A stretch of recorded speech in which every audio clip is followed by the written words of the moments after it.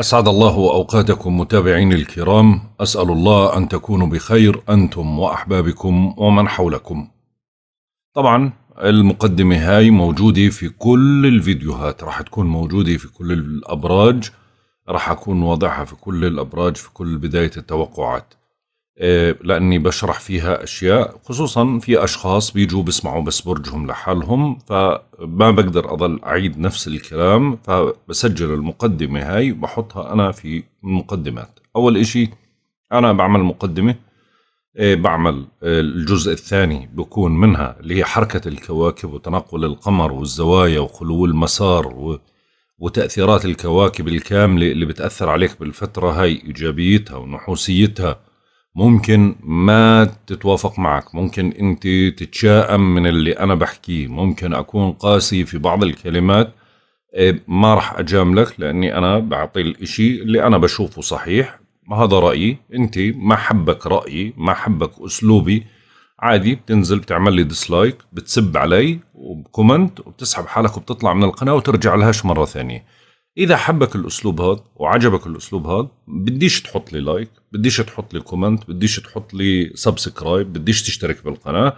بس المهم إني أنا وصلت الفكرة وفدتك بالمعلومة وأعطيتك معلومة صح اللي بترضي ربنا وبترضي ضميري. طيب القسم الثاني بكون آه، حكينا إحنا عن حركة القمر والزوايا إذا في زوايا بتكون إيجابية أو سلبية من القويات.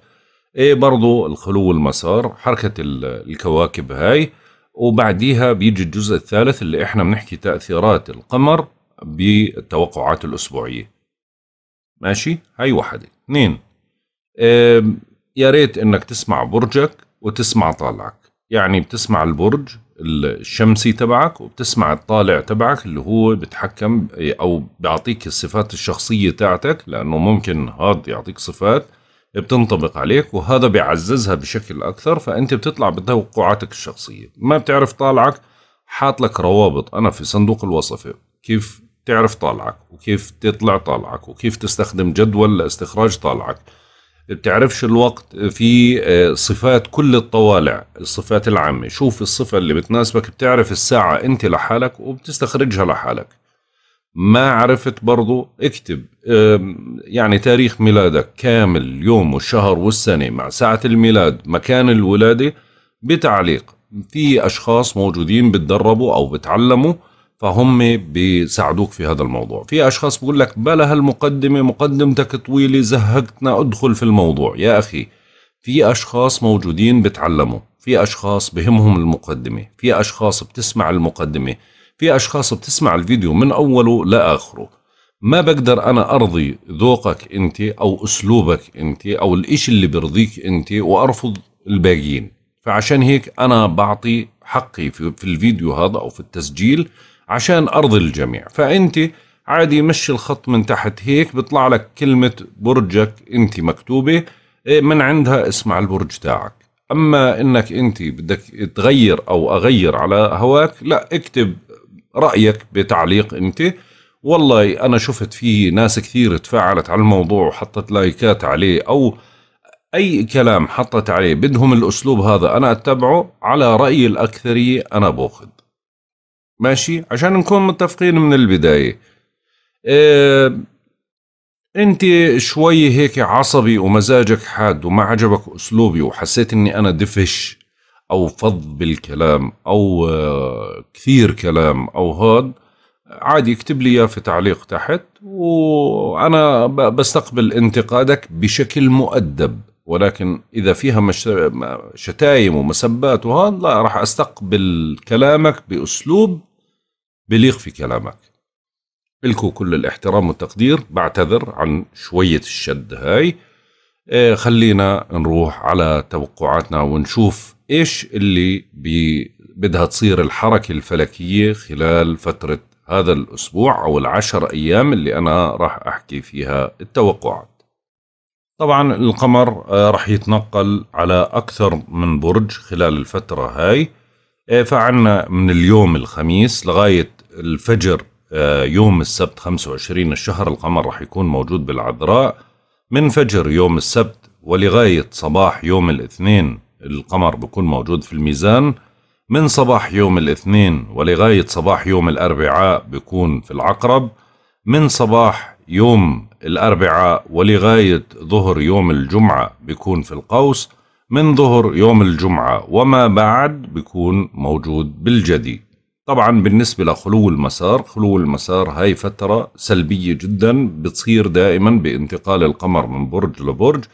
يفضل فيها إنه أنت ما تقوم بأي شيء مهم أو ضروري أو شراء أشياء آه، مهمة بالنسبة لإلك أو عقد أو زواج أو توقيع لخطوبة أو زفاف أو أشياء مهمة. كلها لأنها هاي الفترة بيكون فترة خلو مسار هي فترة نحسة جدا بتأثر على هاي الأشياء دائما بنتائج سلبية بعد فترة. فبالنسبة لخلو المسار اللي راح يكون أو الفترات خلو المسار لكل انتقالات القمر بالفترة القادمة أول خلو مسار راح يكون يوم الجمعة اللي هو 24 الشهر راح يبدأ من الساعة 11 وسبع دقائق بتوقيت جرينتش وراح يستمر حتى تمام آه، فجر يوم السبت 25 آه، سبعة تمام الساعة آه، واحدة وثلاثة وخمسين دقيقة بتوقيت جرينتش يعني صباحا. أما بالنسبة للخلو المسار الثاني بيكون يوم الاثنين 27 الشهر بيبدأ من الساعة واحدة وثمان دقائق فجرا بتوقيت جرينتش وراح يستمر حتى صباح آه، يعني ساعات الصباح اللي هو الساعة أربعة وإحدى عشر دقيقة بتوقيت جرينتش أما بالنسبة لخلو المسار الثالث راح يكون يوم الأربعاء 29 الشهر بيبدأ من ساعات الصباح الساعة أربعة ودقيقة بتوقيت جرينتش وحتى ساعات صباح يعني برضو ساعة الصباح يعني المدة بسيطة جدا بالنسبة لخلو المسار اللي هي للساعة سبعة وأربعة وعشرين دقيقة بتوقيت جرينتش طبعا بالنسبة لخلو المسار الرابع شوي هذا بده شوية تركيز للحساب. من آخر ساعات يوم الخميس على الجمعة اللي هي عند منتصف الليل بيصير عندنا خلو المسار اللي هو الساعة 12 وسبع دقائق يعني أول دقائق من يوم الجمعة بعد منتصف الليل وراح يستمر طول يوم الجمعة لغاية الساعة 11 و 58 دقيقة ظهرا بتوقيت جرينتش خلينا نروح على حركة الكواكب ونشوف حركة الكواكب لكل برج إيش راح تأثر علينا بالفترة القادمة؟ أو راح تركز الاهتمامات على إيش؟ أو بعطيك طاقة في إيش؟ ايجابيا وسلبيا. برج القوس. طبعا الشمس انتقلت إلى الأسد بيت حليف لإلك أو برج حليف لإلك بيتك التاسع اللي له علاقة بدعمك على مستوى الدراسة أو الدورات آه، الدراسية أو تعلم شيء جديد. علاقاتك بتصير جيدة مع أشخاص خارج البلاد أو بتتعرف على أشخاص من خارج البلاد. برضو بتحمل لبعض الأشخاص في بعض الدول اللي مسموح يسافروا فيها. بتحمل أشياء لها علاقة بالسفر أو الاتصالات البعيدة أو التواصل أو أمور لها علاقة بالتنقلات. برضو بتدعم من علاقاتك آه، في أشخاص راح يتفاجئوا بتطور مهم على مستوى قضية قضائية لصالحهم بالفترة هاي. ممكن تنجزوا بعض الأشياء اللي تكون لصالحكم أو تكون تدعمكم في بعض الأشياء بشكل قوي. أما بالنسبة لعطارد طبعا في البيت الثامن بدعمكم على مستوى الأموال المشتركة أو حل مسائل معقدة إلها علاقة بالأموال المشتركة أو أموال ما بتعود لك أو أموال بتخضع ما بينك وبين شريك.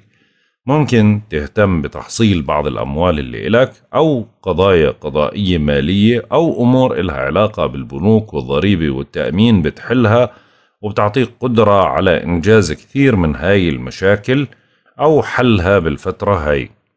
أما بالنسبة للبيت السابع فطبعا الزهرة موجودة فيه فهي بتعزز من شراكتك وعلاقتك مع الشريك وخصوصا ما بين الأزواج أو شركاء المال.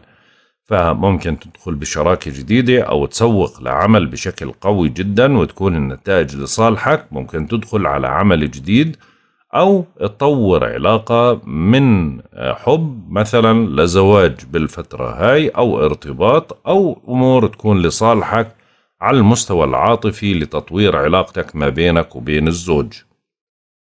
أما بالنسبة للمريخ اللي موجود في البيت الخامس فهو بعطيك دافع لفرض السلطة على الأحبة أو العصبية أو الحدية أثناء التعامل مع الحبيب أو مع الأحبة. الحبيب حبيب العاطفة والأحبة هم الأبناء والوالدين. فعشان هيك شوي بتكون عصبي حاد بالطباع مشاكل أو يعني شوية هيك مشادات كلامية بتكون ما بينكم شوي بدك تتروى وتحاول تضبط عصبيتك عشان ما تكبر الخلافات ما بينك وبين الأحبة. أما بالنسبة للجدي الجدي طبعا هو بيتك الثاني فبيت المال إيه عندك المشتري بتراجع عندك بلوتو بتراجع برضه وعندك زحل بتراجع. فهدول بما انه الثلاثة بتراجعوا فمعناته أمور بتكون ضاغطة على الوضع المالي. بتسبب لك بعض العقبات أو بعض الضغوط المالية أو بعض القلق المالي أو المصاريف أو خسارة فلوس أو ضياع فلوس منك أو حد بنصب عليك وبيستغلك بأخذ فلوسك بالفترة هاي فبدك تكون حذر من التقلبات المالية. أما بالنسبة لنبتون نبتون موجود في بيتك الرابع.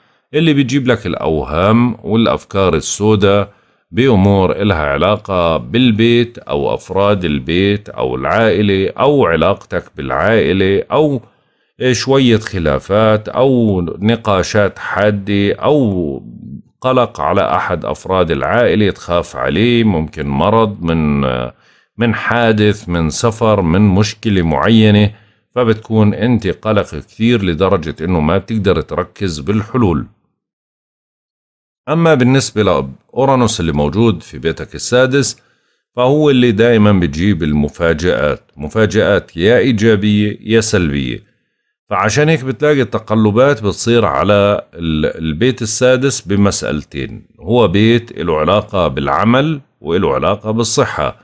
فيا إما الأجواء بتكون جيدة على هدول البابين يعني صحتك ممتازة وعملك ممتاز وبتقدر تنجز أعمالك بشكل ممتاز يا إما بتجيب لك تقلب على واحد منهم يعني يا مشاكل في عملك وصحتك بتكون جيدة يا مشاكل في الصحة وعملك بكون سيء.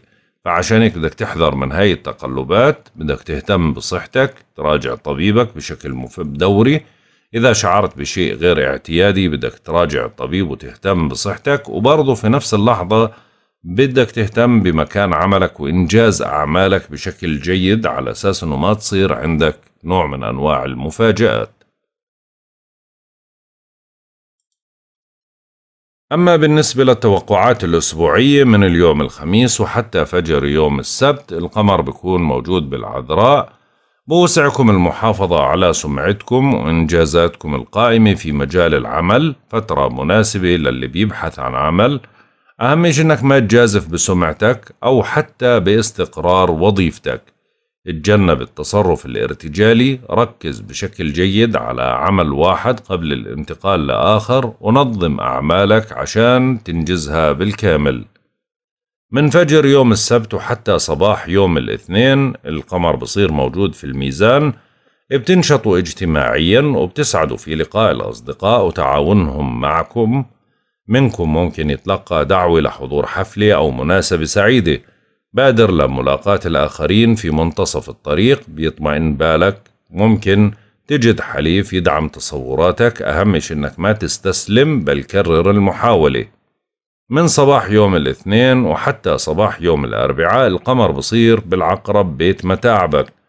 فعشان هيك بتجتازوا بصورة عامة فترة غير مريحة صحيا ونفسيا رغم عدم وجود أي مخاطر انجزوا فقط ما بوسعكم من العمل الضروري وأخلدوا للراحة. حاذر من بعض المحتالين وخيبات الأمل الحظوظ قليلة فما تجازف. بانتظارك تأخير وفوضى ومن المستحسن عدم الارتباط بمواعيد مهمة. من صباح يوم الأربعاء وحتى ظهر يوم الجمعة القمر بصير موجود بالقوس. فعشان هيك ثقتكم بأنفسكم بتكون كبيرة وبعمكم النشاط. بادروا لخطوة جديدة بتدعم من مكانتكم الاجتماعية. الفترة هاي بتحمل انفراج وتقدم ملموس بعد مراوحة وركود. عليك التحلي بحكمة وواقعية للأمور بتشتد عزيمتك وبترتفع المعنويات وبتستعيد سيطرتك وبتحقق نجاح باهر. من ظهر يوم الجمعة القمر بصير موجود بالجدي فعشان هيك من ظهر يوم الجمعة والسبت فثم فرصة لمكسب مالي من عمل إضافي منكم. ممكن يحصل على هدية أو جائزة. إيه، ممكن تحتاج لمساعدة جهة ما أهم شيء إنك ما تتكبر. الكواكب بتعمل لصالحك وبتسهل حياتك. أهم شيء إنك ما تسمح لأحد بإنه يغشك. كن حريص على أموالك وممتلكاتك وعزز وضعك المالي. هيك منكون انتهينا من توقعاتنا لهذا الأسبوع والله أعلم. يا رضا الله ورضا الوالدين سبحانك اللهم وبحمدك أشهد أن لا إله إلا أنت أستغفرك وأتوب إليك. أترككم في رعاية الله وحفظه. إلى اللقاء.